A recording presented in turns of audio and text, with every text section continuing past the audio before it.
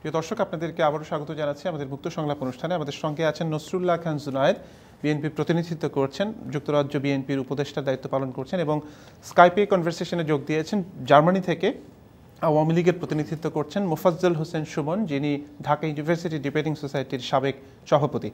আমরা বিজ্ঞাপন বিরতির আগে নারায়ণগঞ্জ সহ বিভিন্ন ইস্যু নিয়ে, রাজনৈতিক অঙ্গন যে বিষয়গুলো নিয়ে উত্তপ্ত, সেগুলো নিয়ে কথা বলছিলাম। দুই নেত্রীকে বাদ দিয়ে নতুন কোনো ধরনের কাঠামো চিন্তা করা যায় কিনা দর্শকের এই প্রশ্নের জবাবেও আমরা যারা অতিথি হিসেবে আছেন, তাদের দৃষ্টি আকর্ষণ করছিলাম। এই পর্যায়ে আমি একটু, জনাব জুনায়দ, আপনার কাছে প্রশ্ন রাখতে চাই। সেটি হচ্ছে যে, গতকাল মাননীয় প্রধানমন্ত্রীর উদ্দেশ্যে প্রশ্ন করেছেন রিজভি সাহেব, যিনি যুগ্ম মহাসচিবের দায়িত্ব পালন করছেন আপনাদের দলের কেন্দ্রীয় কমিটির। একটা নতুন ধরনের বলা যায় যে অ্যানালজি তিনি দাঁড় করিয়েছেন।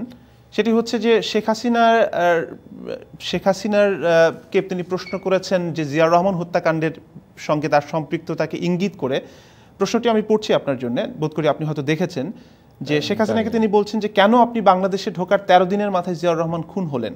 আর সেদিন আপনি বোরকা পরে বাংলাদেশের একটি সীমান্তে উপস্থিত হয়ে সীমান্ত পাড়ি দিতে চাচ্ছিলেন কেন? আমরা হয়তো অনেকেই এই হত্যাকাণ্ডের বিষয়ে সম্পৃক্ততা, একজন আরেকজনকে দোষারোপ এটি নিয়ে হয়তো কথা বলতে স্বাচ্ছন্দ্য বোধ করি না। কিন্তু যখন একটি রাজনৈতিক দলের শীর্ষ পর্যায়ের নেতা আরেকটি দলের আরেকজন শীর্ষ পর্যায়ের নেতাকে এভাবে প্রশ্ন করবেন না, শীর্ষ নেতাকে প্রশ্ন করবেন, তখন এটি নিয়ে আমার মনে হয় যে আলোচনার প্রয়োজন আছে। আপনার কি কোনো পর্যবেক্ষণ আছে এ বিষয়ে? দেখুন প্রথমে আমি সুমনের কথা যাই। সে একটাবার বলেছিল যে ইয়াং জেনারেশন বিশেষ করে নতুন প্রজন্ম নেতৃত্বে আসা উচিত। ইন দ্য সেম টাইম কিন্তু সে স্ববিরোধী তাই চলে গেলেন আগামী দিনের যারা ইয়াং জেনারেশন যারা ন্যাশনালিস্ট ফোর্স নতুন নেতৃত্বের ধারক হিসাবে সামনে যে দেশনায়ক তারেক রহমানকে দেখতে চায়, তার শিক্ষাগত যোগ্যতা নিয়ে কোশ্চেন করলেন। দেখুন, আমি ঢাকা বিশ্ববিদ্যালয়ের ইন্টারন্যাশনাল রিলেশনসের ছাত্র। আমি নিজে দেখেছি উনি আমার ডিপার্টমেন্টের ছাত্র হিসেবে ভর্তি হয়েছেন। কিন্তু সেখানে তার শিক্ষাগত যোগ্যতা নিয়ে প্রশ্ন করার বোধ হয় সমীচীন নয় কিংবা কোনো সুযোগই নেই। আজকে তার যে পলিটিক্যাল যে অ্যানালাইসিস আজকে দীর্ঘ তেতাল্লিশ বছর পর যেই কোশ্চেনগুলো অনেক রাজনৈতিক ব্যক্তিত্ব করার কথা ছিল, আজকে কিন্তু সেগুলোতে উনি আজকে আনয়ন করে জাতির কাছে নতুনভাবে সেই ইতিহাসকে নতুনভাবে উন্মোচন করলেন। আজকে একটি পর্যায়ে তারেক রহমান বলেছেন যে শেখ মুজিবের পাঁচ বছর ওই সময়কালটি ব্যর্থ নায়ক হিসাবে সারা সাড়ে তিন বছর। কিন্তু তিনি সাড়ে তিন বছরের কথা বলেন তিনি একজন নেতা হিসেবে শেখ মুজিবকে ব্যর্থ বলেছেন কম্পেয়ারিং টু জিয়া দেখেন এই ব্যর্থতার এটা কিন্তু তার ল্যাঙ্গুয়েজ না শুধু। তৎকালীন সময়কার সমস্ত নিউজ পেপারগুলো যদি আপনি পড়েন মার্ক টালির যে ইন্টারভিউ ছিল সেটা যদি পড়েন সে তখনকার যে বিবিসি সিরাজুর রহমান যে ইন্টারভিউ নিয়েছিলেন সেটি যদি পড়েন এবং উনি যখন এবং তখন কিন্তু প্রতিনিয়ত পত্রিকাতে ইন্টারভিউটার কথা বলছেন? সিরাজুর রহমানের বিষয়ে আমরা জানি যে উনি বিএনপি পন্থী বুদ্ধিজীবী। আমার কাছে মার্ক টালির বিষয়টি আরও অনেক বেশি গুরুত্বপূর্ণ। হ্যাঁ মার্ক টালি যখন উনি দেখুন যিনি যখন উনি তিয়াত্তরে নির্বাচন দিলেন তখন কিন্তু আওয়ামী লীগের যে অলমোস্ট ওয়ান থার্ড সময়টা কিন্তু রয়ে গেছিল। তারপরে উনি নির্বাচনের প্রয়োজনীয়তা অনুভব করলে তড়িঘড়ি করে নির্বাচনের ঘোষণা দিলেন। তখন কিন্তু ওনাকে প্রশ্ন করা হয়েছিল যে আপনি এখন কেন নির্বাচন দিচ্ছেন? যেখানে একটি নতুন দেশ হিসাবে দেশকে আপনার গঠন করার প্রয়োজন কথা সেখানে এখন আপনি নির্বাচন দিচ্ছেন? উনি কিন্তু তখন পরিস্থিতিটাকে অন্যদিকে ডাইভার্ট করতে চেয়েছিলেন বাংলাদেশকে এবং এক পর্যায়ে প্রশ্ন এবং বঙ্গবন্ধুর সে সময়ের যে কর্মকাণ্ড সেখানে নীতি নির্ধারণী অনেক ভুল থাকতে পারে কিন্তু যেভাবে তারেক রহমান বলেছেন যে তিনি ব্যর্থ সেটি ব্যর্থ যেখানে পত্রিকার হেডলাইন হয়েছে বাসন্তীরা কলাপাতা দিয়ে তাদের লজ্জা নিবারণ করছে সেখানে একজন রাষ্ট্রপ্রধান তখন ব্যর্থ সেটার বলার কোনো প্রয়োজন পড়ে না। এবং সেখানে যে দুর্ভিক্ষ ছিল বাংলাদেশের ইতিহাস এটা সবাই জানে। পরবর্তীতে এই যে তিন বছর পর যখন উনি পঁচাত্তরে যখন সেই ঘটনাটি ঘটল তারপর সিক্স ইয়ার্স কিন্তু শেখ হাসিনা বেসিক্যালি ইন্ডিয়াতে ছিলেন এবং কার তত্ত্বাবধানে ছিলেন? তখন ইন্ডিয়ার তত্ত্বাবধানে ছিলেন। সেখান থেকে তার অবলোকন করার সুযোগ হয়েছে যে জিয়াউর রহমান সেই তলাবিহীন জুড়ি থেকে বাংলাদেশ কীভাবে উঠিয়ে নিয়ে এসে নেতৃত্ব দিয়ে বাংলাদেশকে একটি শক্তিশালী দেশ হিসেবে রূপান্তরিত করেছেন। হ্যালো হ্যাঁ আমি বলছি আসলে আমি এই জিনিসগুলো হ্যালো সুমন সুমন আমরা আমরা একজন দর্শকের সঙ্গে কথায় আছি আপনাকে সময় দেওয়া হবে। হ্যালো হ্যালো জি দর্শক শুনতে পাচ্ছি বলুন। হ্যালো আসসালামু আলাইকুম বুলবুল ভাই। জি ওয়ালাইকুম আসসালাম শুনতে পাচ্ছি আমি বলতেছি স্কটল্যান্ড থেকে। জি। আমি একটু নারায়ণগঞ্জ ইস্যুতে একটু কথা বলতে চাচ্ছি। জি নারায়ণগঞ্জ ইস্যুটা আমরা পার করে এসেছি তারপরে যদি একটু ব্রিফলি বলেন। হ্যাঁ আমি একটু ছোট্ট একটা কথা বলতে চাচ্ছি। আমি একজন নারায়ণগঞ্জের মানুষ। আপনার জুনায়েদ সাহেব যে কথাটা বললেন যে নুর হোসেন কিন্তু দুই বছর আগে ট্রাক ড্রাইভার ছিলেন না। এখন থেকে পঁচিশ বছর আগে উনি আপনার ইউনিয়ন কাউন্সিলের চেয়ারম্যান ছিলেন। এবং এই পঁচিশ বছর থেকেই আপনার পঁচিশ বছরের পুরাতনের শত্রুতা ছিলেন আপনার নজরুলের সাথে। নজরুল সাহেব আমাদের আমার আমাদের একজন আত্মীয়, সেই হিসেবে আমি বলতেছি যে নজরুল ভাইকে আগে আরও কয়েকবার মারার চেষ্টা করেছেন উনি, এই নুর হোসেন এবং নুর হোসেনের যে সাম্রাজ্য সাম্রাজ্যটা আপনার এই কাশপুর ব্রিজ দিয়ে সিমরাল এলাকাটাতে, সেখানে বিএনপি পন্থী যে এমপি আছেন, ওনার তত্ত্বাবধানে কিন্তু এই নুর হোসেনের জন্মটা। নুর হোসেনের উত্থানটা ওইখান থেকে। স্বামী ওসমান হয়তো নুর হোসেনকে লালন পালন করতেছেন এখন বিকজ নুর হোসেন এখান থেকে প্রচুর টাকা দিচ্ছেন স্বামী ওসমানকে।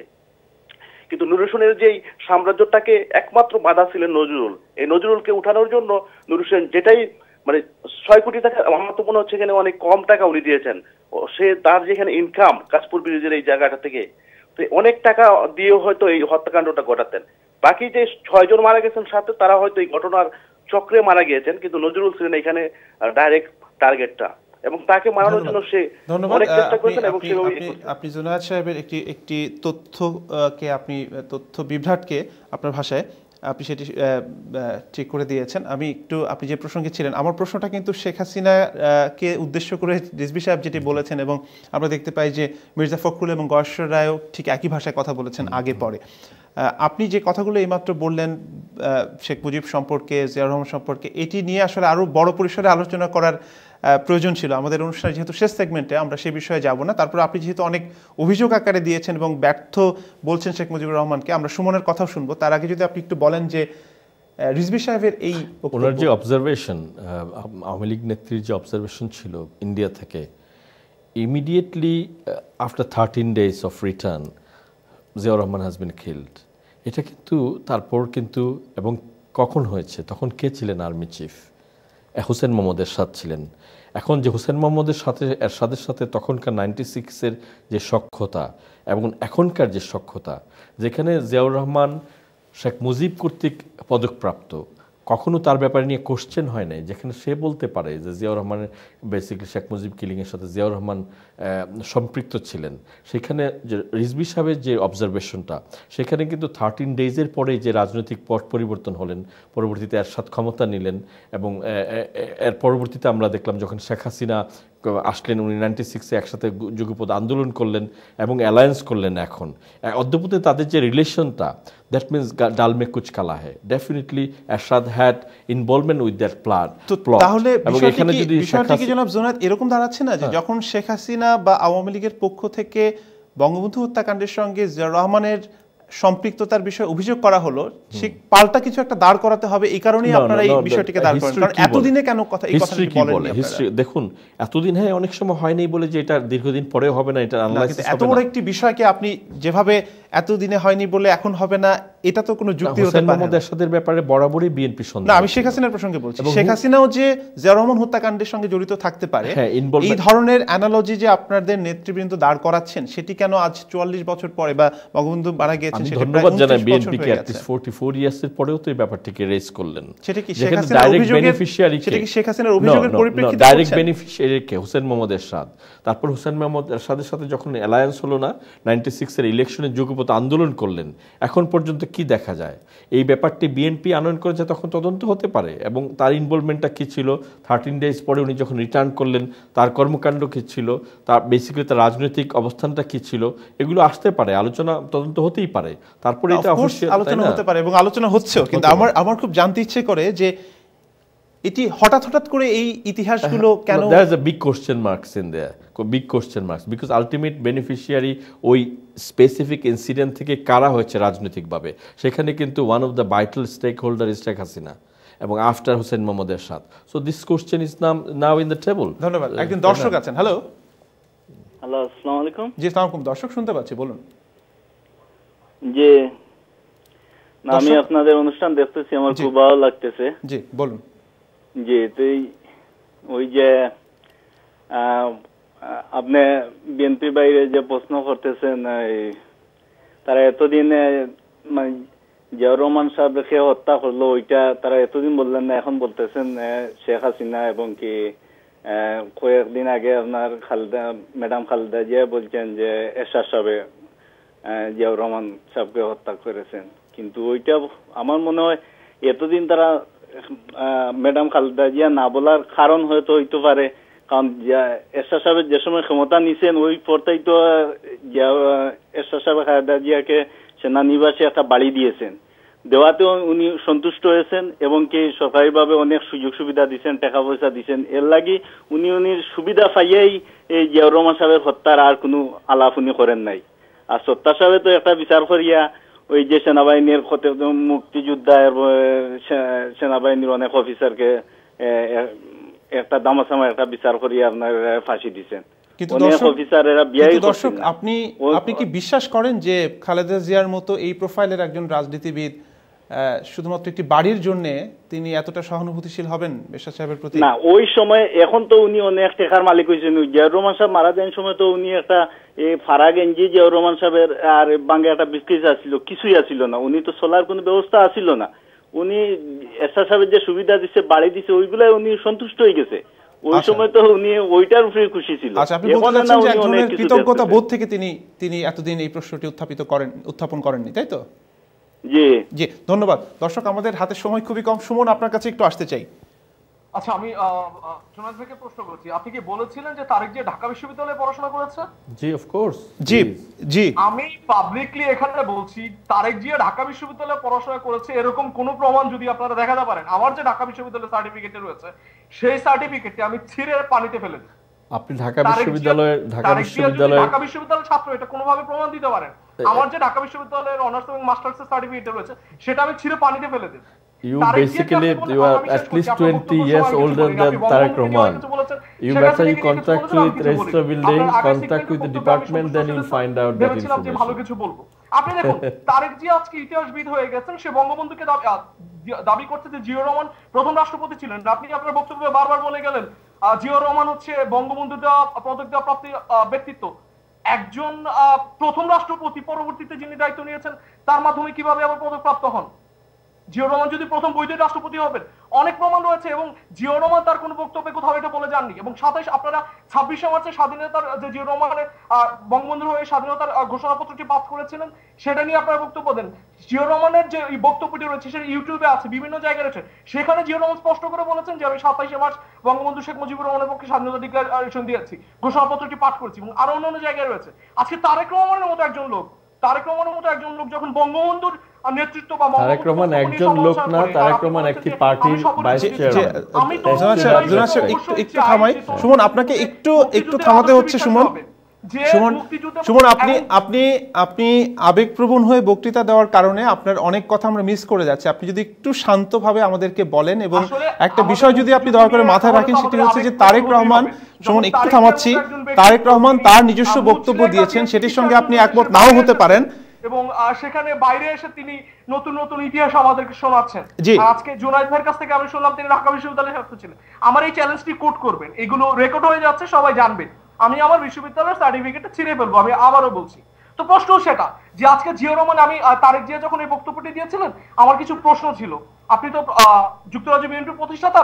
জিও রহমান মুক্তিযুদ্ধ পাকিস্তান সেনাবাহিনীতে যে যোগ দিয়েছিলেন তিনি কি পূর্ব পাকিস্তানের কোটায় যোগ দিয়েছিলেন না পশ্চিম পাকিস্তানের?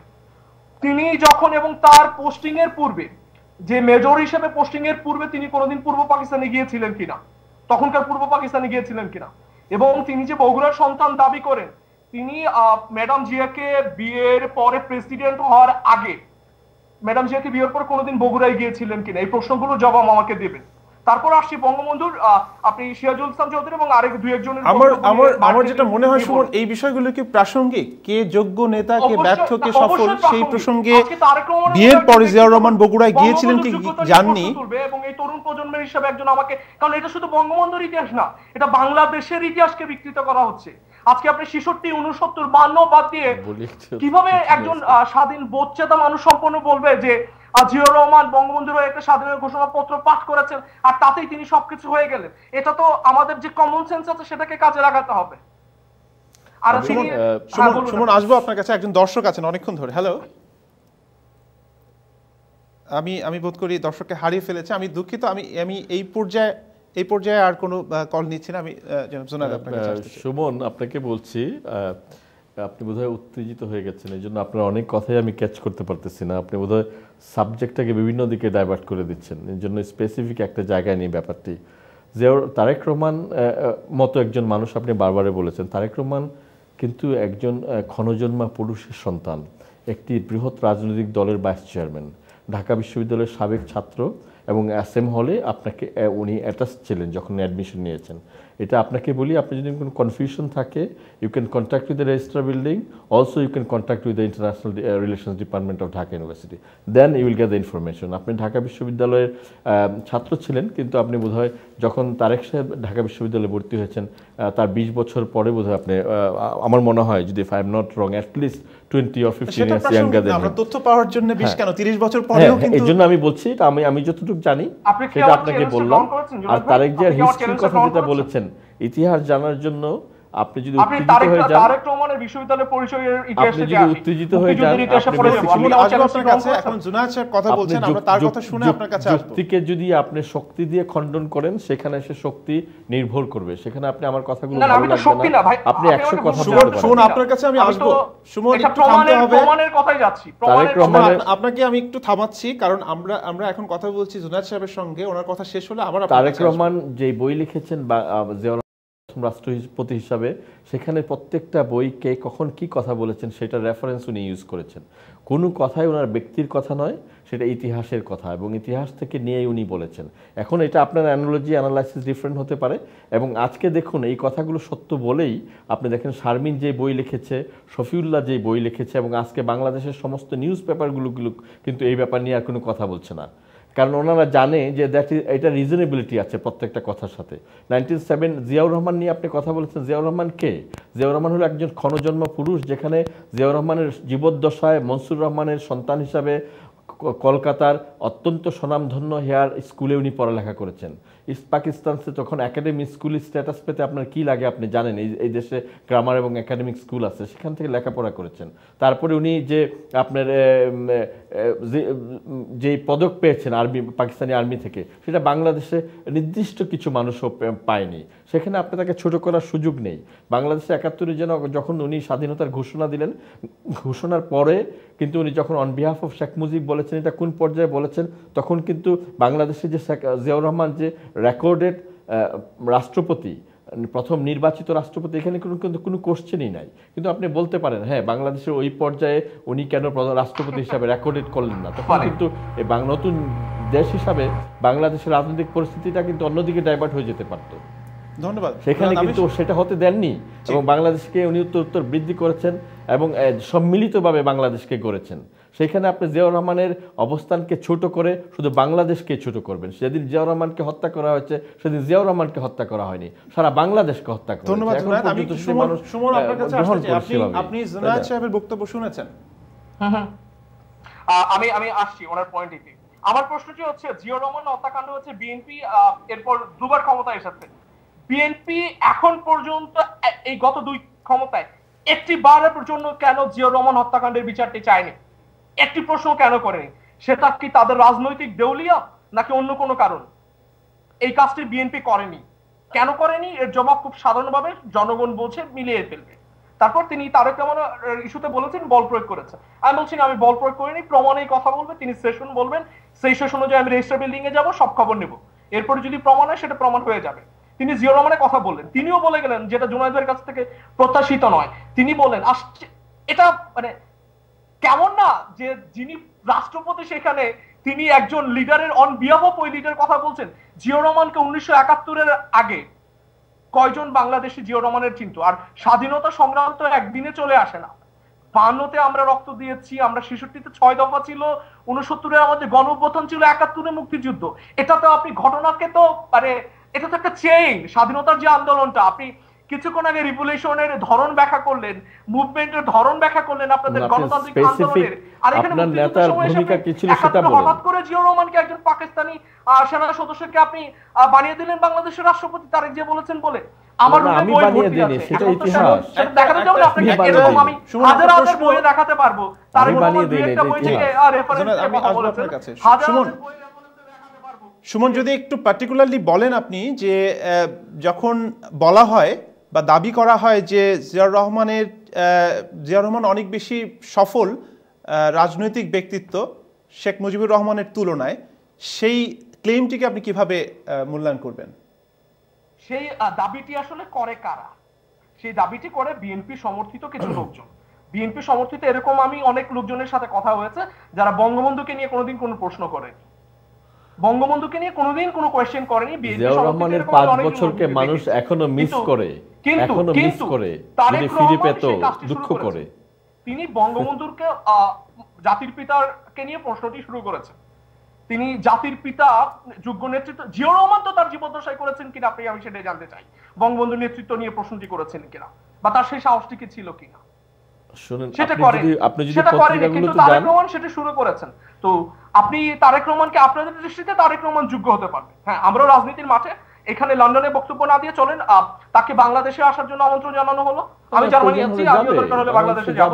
বাংলাদেশের রাজনৈতিক মাঠে সমাধানগুলো অবশ্যই যাবে। বাংলাদেশের মাঠেই রাজনৈতিক সমাধানটি হোক। লন্ডনে বসে বসে ব্যক্তিগতভাবে ব্যক্তিগতভাবে চরিত্র হনন করে আপনি শুধু কথা বাড়াতে পারবেন কিন্তু এতে রাজনৈতিকভাবে কোনো লাভ হবে বলে আমার মনে হয় না। অনুষ্ঠানের একেবারে শেষ পর্যায়ে আপনি বলছিলেন যে সময় হলে যাবেন উনি বাংলাদেশে। সময়টি কবে হবে বলে আপনি ধারণা করেন? হ্যাঁ সময়ের প্রশ্নে যদি আপনি এখন বলুন আপনি নিজেই বলুন আজকে দেশনেত্রী খালেদা জিয়ার বিরুদ্ধে যেভাবে আজকে আপনি জানেন যে তার দুই সন্তানকে দুই দিকে রাখা হয়েছে এটা কার প্লট? এটা একটা কনস্পিরেসির অংশ। না আমরা একেবারে শেষ পর্যায়ে টেন সেকেন্ড এখন এটা একটা রাজনৈতিক কবে হবে? রাজনৈতিক সিদ্ধান্ত। জিয়াউর রহমান আর তনয় দেশনায়ক তারেক রহমান এদেশের দলের কর্ণধার আমরা এই সব কিছুই জানি। সময়টি কবে হবে? এটা কিন্তু রাজনৈতিক সিদ্ধান্ত সময় কিন্তু বলে রাজনৈতিক সিদ্ধান্ত কিসের এটাকে আমি আপনাকে স্পেসিফিক টাইম বলতে পারব না। শারীরিক অবস্থার উপরে নাকি বাংলাদেশের রাজনৈতিক রাজনৈতিক এবং শারীরিক অবস্থা তো অবশ্যই। সেখানে এটাকে আপনাকে রাজনৈতিক অবস্থানটাকে অ্যাসেস করে উনি মালয়েশিয়াতে কয়েকদিন আগে যেতে পারলেন। উনি বাংলাদেশে যেতে পারলেন? বাংলাদেশেও যাবেন। বাংলাদেশেও যাবেন। মানে কিন্তু? আপনি মানে যদি বাংলাদেশে? বাংলাদেশে নিয়ে যদি আপনি মনে করুন তাকে কোনো ষড়যন্ত্রের জালে তাকে আটকিয়ে বাংলাদেশের জাতীয়তাবাদের রাজনীতিকে ধ্বংস করবেন সেটা কিন্তু তাকে অ্যাসেস করার তার সুযোগ রয়েছে। ষড়যন্ত্রের ভয়ে উনি যেতে চাচ্ছেন না বাংলাদেশে না সেটা না সেটা হতে পারে। এটা অ্যাসেসমেন্ট করেই তো উনি যাবেন তাই না? ধন্যবাদ। ধন্যবাদ সুমন আমাদের সঙ্গে জার্মানি থেকে যোগ দেওয়ার জন্য। জুনায়েদ আপনাকেও ধন্যবাদ। প্রিয় দর্শক আমরা একটি প্রাণবন্ত বিতর্ক উপহার পেয়েছি। কখনো কখনো সেটি অবশ্য বিতর্কের যে স্বাভাবিক গতি সেটিকে অতিক্রম করে এক ধরনের বলা যায় যে উত্তেজনায় পর্যবেসিত হয়েছিল। বাট আমার কাছে মনে হয়েছে যে এটাই গণতন্ত্রের ভাষা। সবাই আবেগ যুক্তি সব কিছু মিলিয়েই বিতর্কে অংশ নেবেন। যারা আমাদের অনুষ্ঠান দেখলেন তাদের সবাইকে বলছি যে আগামী দিনের যে মুক্ত সংলাপ সেটি দেখবার দেখবার আমন্ত্রণ রইল। শুভরাত্রি।